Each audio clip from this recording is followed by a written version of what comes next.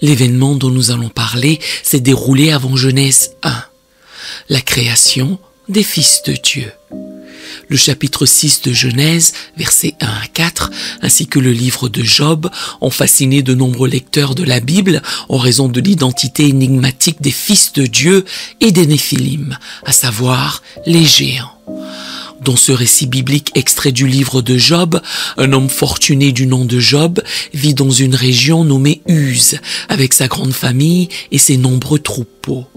Il est impeccable et intègre, cherchant constamment à mener une vie moralement irréprochable. Sa relation avec Dieu est extrêmement disciplinée. Job perd tout ce qu'il a. La douleur lui est insupportable et il devient amer, anxieux et craintif. Job souhaite confronter Dieu pour manifester son indignation. Finalement, Dieu intervient. À 36 reprises, Job a imploré Dieu de lui adresser la parole. Il a maintenant obtenu ce qu'il désirait. Job chapitre 38 versets 4 à 7. Où étais-tu quand je fondais la terre? Dis-le si tu as de l'intelligence. Qui en a fixé les dimensions? Le sais-tu? Ou qui a étendu sur elle le cordeau? Sur quoi ces bases sont-elles appuyées? Ou qui en a posé la pierre angulaire, alors que les étoiles du matin éclataient en chants d'allégresse et que tous les fils de Dieu poussaient des cris de joie?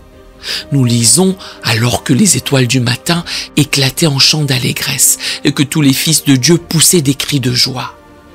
Il est révélé que des êtres angéliques nommés étoiles du matin et fils de Dieu ont assisté à la création de la terre et ont célébré la gloire, la puissance et la sagesse de Dieu impliqués dans ce processus. Les anges déchus sont peu cités dans la Bible, car la grande majorité des anges au ciel n'ont jamais failli et ne sont jamais passés au côté obscur. Quelques-uns cependant ont choisi de le faire. Ces anges déchus n'ont pas respecté leur origine, c'est-à-dire qu'ils n'ont pas suivi la voie pour laquelle ils avaient été créés. Les anges ont été conçus pour être au ciel avec Dieu, pour le louer et exécuter ses ordres. Tout comme les humains, ils ont été créés pour le glorifier, mais ce sont les humains qui ont été créés pour vivre sur terre, pas les anges. Malgré tout, ces anges n'ont pas respecté leur origine ou leur point de départ au ciel. Ils ont choisi de renier le plan de Dieu pour leur vie en exerçant leur libre arbitre. Selon la Bible, ces anges sont des anges déchus parce qu'ils ont quitté le ciel. Que leur est-il arrivé? De Pierre chapitre 2 verset 4. Car si Dieu n'a pas épargné les anges qui ont péché, mais s'il les a précipités dans les abîmes de ténèbres et les réserve pour le jugement. Selon la Bible, le leader de ces anges est Satan qui se déguise en ange de lumière.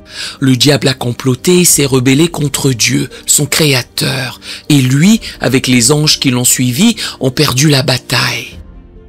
Selon Matthieu chapitre 25 verset 41, le feu éternel, soit l'enfer, a été préparé pour le diable et ses anges. Autrement dit, l'enfer n'a jamais été pensé ou créé pour l'homme, même si Judas et d'autres y finiront inévitablement. En fait, Satan et les anges déchus étaient les destinataires prévus de l'enfer.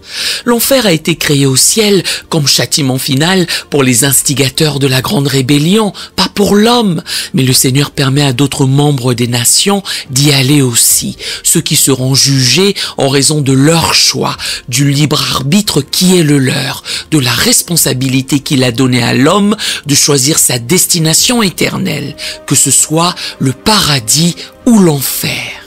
Cela devrait réfuter toutes les affirmations qui prétendent que Dieu a créé l'enfer pour punir l'homme alors qu'il savait dès le début qu'il allait chuter. La parole de Dieu nous montre explicitement que ce n'est pas le cas.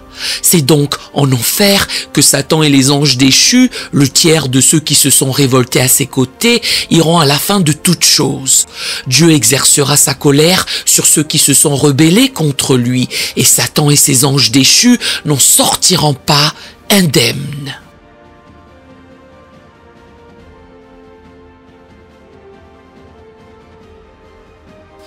Nous avons vu ici que les anges déchus existent, même si le fait d'être déchu de la grâce est un concept difficile à appréhender pour certains d'entre nous. Nous préférerions croire que les anges ne peuvent pas déchoir, mais l'histoire biblique démontre le contraire. Les anges déchus sont reconnus pour constituer un tiers de l'armée angélique qui a suivi Satan dans la grande rébellion et qui a tenté de renverser Dieu, son trône et son règne pour s'emparer du ciel.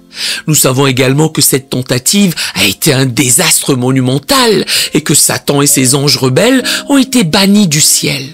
Certains anges déchus qui se trouvent maintenant en enfer et d'autres qui sont sur terre suivent des trajectoires différentes.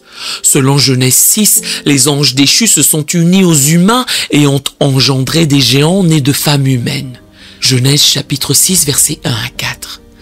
Lorsque les hommes eurent commencé à se multiplier sur la face de la terre et que des filles leur furent nées, les fils de Dieu virent que les filles des hommes étaient belles et ils en prirent pour femmes parmi toutes celles qu'ils choisirent. Alors l'Éternel dit, mon esprit ne restera pas toujours dans l'homme, car l'homme n'est que chair, et ses jours seront de cent vingt ans. Les géants étaient sur la terre en ces temps-là, après que les fils de Dieu furent venus vers les filles des hommes, et qu'elles leur eurent donné des enfants. Ce sont ces héros qui furent fameux dans l'Antiquité. La Bible stipule, et ils en prirent pour femmes parmi toutes celles qu'ils choisirent. Nous pouvons inférer la raison pour laquelle Satan a dépêché ses anges pour s'unir à des femmes humaines, directement ou indirectement. Satan a tenté de contaminer l'héritage génétique de l'humanité par la corruption diabolique, en y insérant quelque chose qui ressemble à un pathogène génétique dans le but de rendre la race humaine incapable de porter la semence de la femme, le Messie promis dans Genèse chapitre 3 verset 15. Mais qui étaient ces fils de Dieu? Le judaïsme pré-chrétien et l'Église primitive percevaient les fils de Dieu comme des êtres spirituels ou des anges qui prenaient des femmes humaines pour épouses et engendraient des géants connus sous le nom de Néphilim. Les trois interprétations majeures de l'identité des fils de Dieu sont, premièrement, qu'ils étaient des anges déchus, deuxièmement, qu'ils étaient de puissants dirigeants humains, et troisièmement, qu'ils étaient des descendants vertueux de Seth, qui se sont unis aux descendants impies de Caïn. La conviction traditionnelle est que les fils de Dieu étaient des êtres surnaturels qui ont engendré des enfants avec des femmes humaines, donnant ainsi naissance aux Néphilim. Voici les arguments qui appuient cette croyance. Le fait que l'expression fils de Dieu désigne toujours les anges dans l'Ancien Testament renforce cette thèse. Job chapitre 1 verset 6. Or, les fils de Dieu vinrent un jour se présenter devant l'Éternel, et Satan vint aussi au milieu d'eux. Job chapitre 2 verset 1. Or, les fils de Dieu vinrent un jour se présenter devant l'Éternel, et Satan l'adversaire et accusateur vint aussi au milieu d'eux se présenter devant l'Éternel. Job chapitre 38 verset 7 alors que les étoiles du matin éclataient en chants d'allégresse et que tous les fils de Dieu poussaient des cris de joie. Dans les trois cas, les fils de Dieu sont associés aux êtres angéliques, y compris Satan. L'emploi de cette expression dans le livre de Job suggère que Genèse 6 fait référence aux esprits, aux anges. Les versets 1 et 2 du chapitre 6 de Genèse présentent un contraste entre les fils de Dieu et les hommes, ce qui suggère qu'ils sont des êtres spirituels et non humains. Le verset 1 du chapitre 6 de Genèse affirme que lorsque les hommes eurent commencé à se multiplier sur la face de la terre et que des filles leur furent nées, le terme hébreu pour homme est ici le mot générique pour l'humanité, comme il est utilisé dans le chapitre 5 de Genèse, versets 1 à 2. Les fils de Dieu sont mis en contraste avec l'homme, indiquant que les fils de Dieu étaient distincts des hommes et ont épousé les filles de ces derniers. Par conséquent, les fils de Dieu doivent être des êtres différents, non humains. Le contexte suggère que les Néphilim étaient la progéniture de ces êtres spirituels et d'êtres humains. Les Néphilim ou les déchus de Genèse chapitre 6 verset 4 sont des figures énigmatiques ce sont ces héros qui furent fameux dans l'Antiquité. Le texte ne précise pas comment les Néphilim sont apparus. Les géants étaient sur la terre en ces temps-là, après que les fils de Dieu furent venus vers les filles des hommes, et qu'elles leur eurent donné des enfants, nous dit-il simplement. Mais pourquoi les Néphilim sont-ils mentionnés dans Genèse 6 à côté des mariages entre les fils de Dieu et les filles des hommes? Il n'est pas clair comment ces hommes puissants et renommés sont apparus s'ils ne sont pas le fruit d'une union entre des êtres spirituels et des êtres humains. Jude interprète probablement les versets 1 à 4 du chapitre 6 de Genèse comme se référant au mariage entre les êtres spirituels et les humains. Le verset 6 de Jude parle d'anges qui n'ont pas gardé leur dignité, mais qui ont abandonné leur propre demeure. À moins que Jude ne fasse référence à un événement inconnu, il semble se référer aux anges qui ont quitté le ciel pour vivre sur la terre, comme mentionné dans Genèse chapitre 6 versets 1 à 4.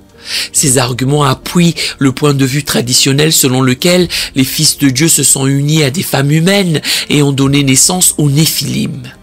Bien que cela puisse sembler inhabituel à l'auditeur moderne, on pourrait en dire autant de toute la Bible. La réalité est souvent plus étrange que la fiction, et le monde que Dieu a créé est bien au-delà de ce que nous imaginons généralement. Les fils de Dieu virent les filles des hommes. Il serait plus précis de considérer les fils de Dieu comme des démons, des anges en rébellion contre Dieu, ou des hommes possédés par des démons, et les filles des hommes comme des femmes humaines. 6 qui n'ont pas gardé leur dignité, leur position originelle, mais qui ont abandonné leur propre demeure. Il les a réservés pour le jugement du grand jour, enchaînés éternellement par les ténèbres. Jude 6 explicite également le sort que Dieu a réservé à ces mauvais anges. 1 Pierre chapitre 3 verset 19 à 20 nous indique que Jésus a proclamé sa victoire sur eux à la croix. 1 Pierre chapitre 3 verset 19 à 20 dans lequel aussi il est allé prêcher aux esprits en prison qui autrefois avaient été incrédules lorsque la patience de Dieu se prolongeait au jour de Noé pendant la construction de l'arche dans laquelle un petit nombre de personnes, c'est-à-dire huit, furent sauvées à travers l'eau. Comme on peut le constater, Satan est bien plus qu'un personnage rouge avec des cornes et une fourche. C'est un être ancien doté d'un réel pouvoir spirituel qu'il utilise à des fins maléfiques et égoïstes. Il porte une hostilité particulière envers les chrétiens et cherche à les anéantir. Voici trois vérités cruciales à garder à l'esprit alors que nous naviguons dans cette réalité spirituelle. Premièrement, c'est une erreur manifeste de considérer Dieu et le diable comme des entités diamétralement opposées. Cela accorde à Satan beaucoup plus de crédit qu'il n'en mérite. La différence de puissance entre Dieu et Satan est celle entre un créateur infini et sa création. Quelle que soit la ruse, la tromperie ou la puissance de Satan dans sa rébellion contre Dieu, il ne sera jamais à même d'égaler la puissance de celui qui l'a créé. En d'autres termes, aucun être angélique, qu'il soit déchu ou juste, ne peut rivaliser avec la puissance et la force de Jésus. D'un autre côté, sous-estimer la puissance de Satan est une erreur tout aussi dangereuse. Il n'est pas plus fort que Dieu, mais il est plus fort que nous. Depuis des millénaires, Satan a ourdi des plans sombres et maléfiques. C'est un menteur et un manipulateur habile, doté d'un pouvoir inégalé par tout humain mortel. Cela dit, si nous devons nous méfier de Satan, nous n'avons pas à le craindre. Nous ne connaissons même pas son véritable nom. Je pense que c'est délibéré. C'est une allusion subtile au fait qu'il n'est même pas une menace suffisamment significative pour Dieu pour qu'il soit nécessaire de connaître son nom. La défaite de Satan a été prédite dès le début. Nous pouvons voir la fin dès le commencement dans les premiers chapitres de Genèse. Dieu déclare le serpent vaincu même après son exploit d'avoir réussi à tromper Adam et Ève. Voici ce que Dieu a à dire au serpent, et nous voyons cette promesse s'accomplir dans le sacrifice de Jésus. Bien qu'il ait reçu un coup fatal, Jésus a écrasé la tête du serpent en rendant l'esprit. Et nous attendons avec impatience le jour où cette promesse sera pleinement réalisée. Deuxièmement, préparez-vous au combat spirituel. Nombreux d'entre nous qui avons grandi à l'ère moderne sommes souvent aveugles aux réalités spirituelles et aux forces occultes en action. Nous en avons appris l'existence dans des livres, nous en discutons, mais peu parmi nous y sont véritablement impliqués. En agissant ainsi, nous courons le risque de nous exposer à des attaques spirituelles. La manière la plus rapide de perdre une bataille est d'ignorer que l'on est engagé dans un combat. La puissance de Jésus est bien plus que des mots sur une page ou une espérance pour après notre décès. Chaque jour, des luttes spirituelles font rage autour de nous. Et si nous voulons être des combattants spirituels efficaces, nous devons nous appuyer sur la prière, harmoniser nos cœurs avec la présence tangible de Dieu et cultiver le discernement pendant que nous cherchons à accomplir l'œuvre de notre Père. Notre adversaire est formidable, mais notre Dieu l'est encore plus. Une guerre spirituelle se déroule en ce moment même qui affecte tous les habitants de la planète. Il s'agit d'un conflit entre deux royaumes. L'un des royaumes est dirigé par le Dieu Tout-Puissant, le Prince de paix, tandis que l'autre est dirigé par Satan, le Prince de la puissance des ténèbres. Un monde spirituel nous entoure, bien plus densément peuplé, puissant et rempli de bien plus de ressources que notre propre monde visible d'êtres humains. Les esprits, bons ou mauvais, se faufilent parmi nous. Ils se déplacent d'un lieu à l'autre à la vitesse de l'éclair et en silence. Ils résident dans les espaces aériens qui nous environnent. Nous savons que certains d'entre eux veillent sur notre bien-être, tandis que d'autres nous veulent du mal. Troisièmement, il n'existe que deux royaumes celui de notre grand Dieu et celui de son adversaire insignifiant, Satan. L'un représente le bien, l'autre le mal. L'un symbolise la lumière, l'autre les ténèbres. L'un représente la bénédiction, l'autre la malédiction. L'un représente la vie, l'autre la mort. Ces deux royaumes antagonistes ne peuvent pas coexister, ils s'opposent. Et dans ce monde, on est soit pour l'un, soit pour l'autre. Il n'y a pas de juste milieu, il n'y a pas d'entre-deux, il n'y a pas de zone grise. Mon ami, la question que je te pose aujourd'hui est la suivante. Quel royaume as-tu choisi? Voici ce que te dit Yahvé Dieu, le Créateur de toutes choses, dont Deutéronome 30, verset 19, sa parole de vie pour toi. J'ai mis devant toi la vie et la mort, la bénédiction et la malédiction. Choisis la vie afin que tu vives, toi et ta postérité. Nous aimerions vous donner l'opportunité de faire de Jésus le Seigneur de votre vie. Voulez-vous bien prier avec moi? Dites Seigneur Jésus, je me repens de mes péchés. Viens dans mon cœur. Je fais de toi mon Seigneur et Sauveur. Et merci Seigneur